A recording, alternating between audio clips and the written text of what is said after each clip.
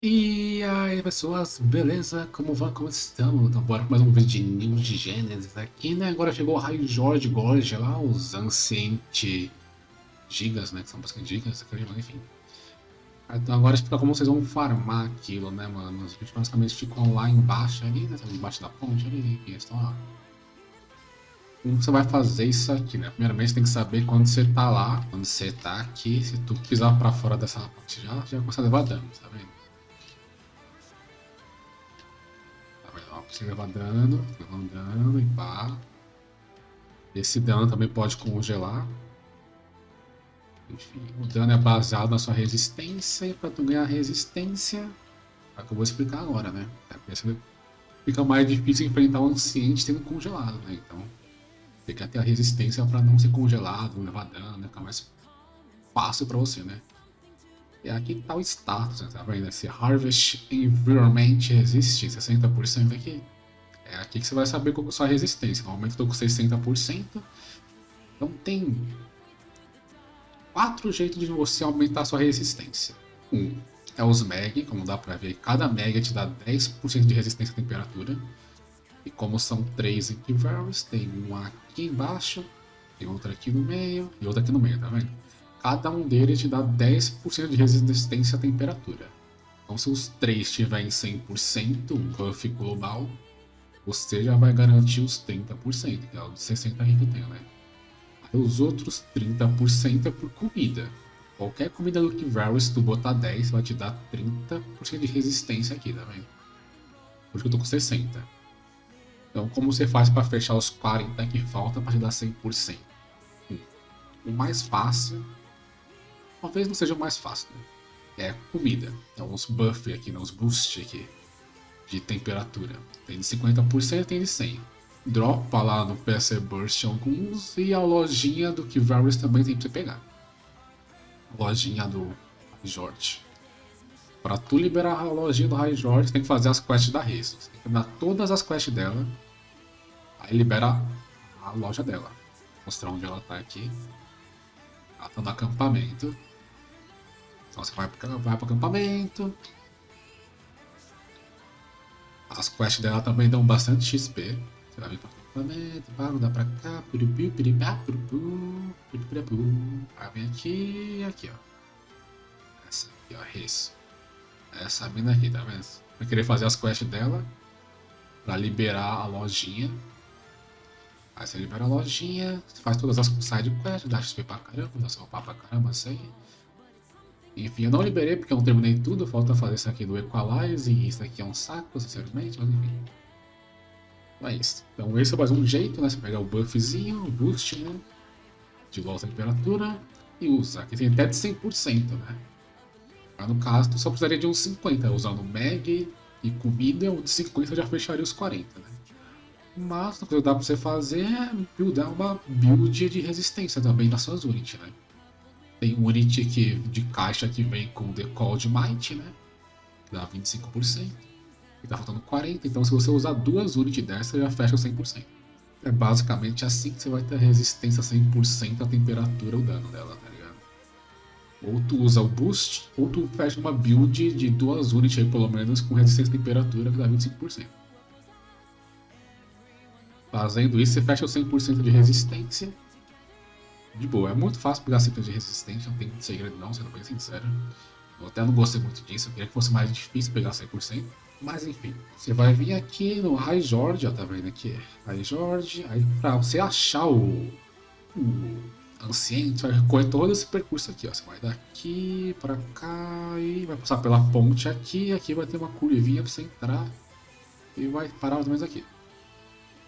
Aí aqui vai ter um ovo mostrar na tela o print do ovo, vai estar o ovo aqui. Aí você destrói o ovo e o anciente dá respawn. Pode vir o Hans ou o Frostil Anciente. Mas é basicamente um giga veterano isso aqui, vamos dizer assim. O respawn dele não é baseado na tempestade. Ele dá respawn mais ou menos com 10 a 15 minutos, então assim que você matar um já vem pro Ryuker procura aqui as salas. Já marca aqui se é o mesmo setor, tá vendo? Tava, tava aqui, ó.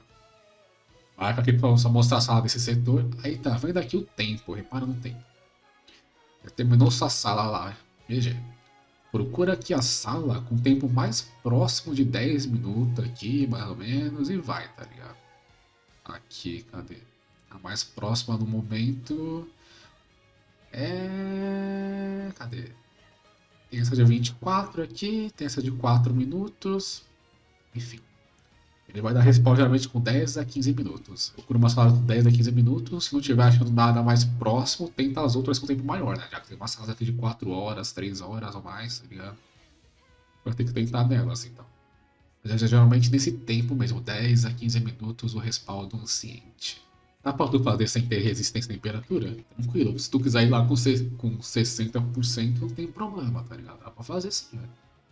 Eu mesmo já fiz já, né? Que é mais divertido assim. É porque querendo ou não, o Anciente, a maioria das vezes vai te matar em hit kill, tá ligado? Então você acaba usando a cura só pra curar seu HP do dano da resistência. Não tem muito problema não, sendo bem sincero. O Anciente dropa armas 7 estrelas que são exclusivas dele. Dropa o material da arma 7 estrelas pra fazer no NPC do High Jord. Também dá pra pegar os Blizzard ou no NPC do High Jord. Então umas coisas interessantes pra pegar lá, mas a arma é boa assim, vale a pena pegar a arma. Se tiver paciência, vale a pena. Mas, né, Agora também você pode ter a chance de dropar uma arma ali, né? Enfim. Vai meio que de você, né? Não é muito difícil fazer isso aqui não, tá? É só você botar resistência e ir lá, tá ligado? Se tiver com a resistência, é basicamente um gigas com respawn time de um veterano. É basicamente isso, tá ligado? Um resumo assim, 1 GB com respawn time de um veterano. Ou você pode pensar da outra forma, que ele é um Digimon, você dá choque o ovo e nasce o Digimon, tá ligado? É, é basicamente isso. É literalmente isso. Também tem uns afins de resistência à temperatura, mas sinceramente, ignora, pega uma unit mesmo de resistência à temperatura, não, decold aqui já era, mano. Se você não quiser gastar boost, né? Mas como dá pra pegar o boost na loja do Raio Jorge, é importante você liberar a lojinha, fazer as quests da NPC, pra poder comprar esses boosts aqui, né? Dá pra comprar os 50, os 100%, enfim. Dependendo do que tu tiver precisando na hora, né? Mas é isso aqui, né, mano? Isso aqui é basicamente o farm do Raio Jorge. Assim, eu farmei uns aqui, não lembro da sorte do drop, mas eu tô pegando o material que precisa, né? Que é o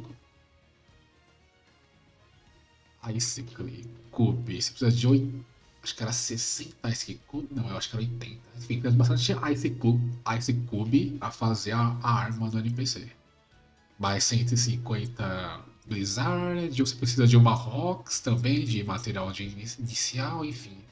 Lembra quando você for fazer isso, se você quiser com fixa, põe, põe na Rox antes, que depois da craftada não vai dar pra fixa. E também uma outra ideia, se tu quiser fazer multi-weapon, já faz a multi-weapon da Rockets também, né? Porque depois logo você faz a multi-weapon, então. Né? Tem que fazer tudo antes pra não dar merda depois.